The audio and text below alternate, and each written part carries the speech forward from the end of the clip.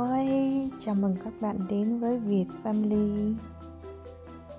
Hôm nay mình uh, đi công chuyện Thì uh, trên đường tình cờ mình thấy có một cái dãy hoa.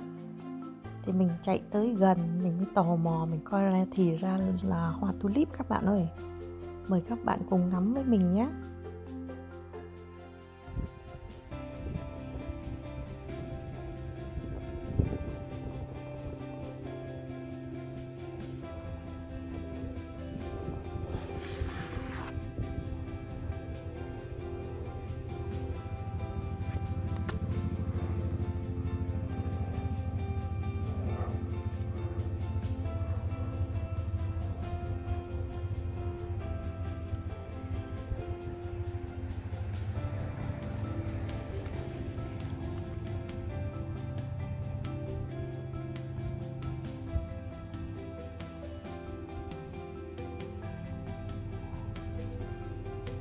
Đây là cánh đồng hoa họ đang trồng để lấy hoa bán.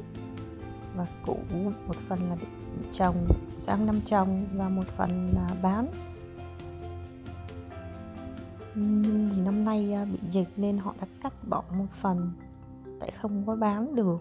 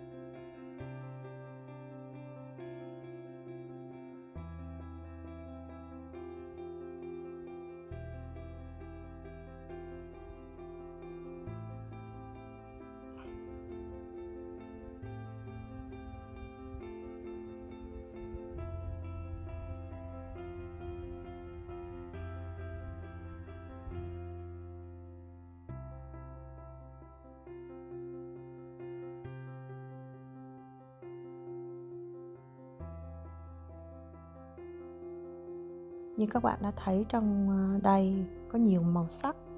Các bạn có biết mỗi một màu là họ cần bao nhiêu năm để ờ, gây màu mới không? Họ cần tới 25 năm để có thể tạo ra được một màu mới của loại hoa này. Thật là công sức, phải không các bạn? Nhưng không uổng công vì mỗi một màu đều có màu sắc riêng, đều rất là sặc sỡ năm nay do dịch nên vườn hoa nổi tiếng của Hà Lan không có mở cửa. Nếu không, mình dẫn các bạn tới đó chiêm ngưỡng cùng mình rồi. Ở đây có nhiều cái màu sắc của loại hoa này rất là rực rỡ và rất là lạ mắt, trông rất là lạ mắt các bạn ạ. Mong là sang năm mình có thể dẫn các bạn cùng với mình đi tới thăm vườn hoa này.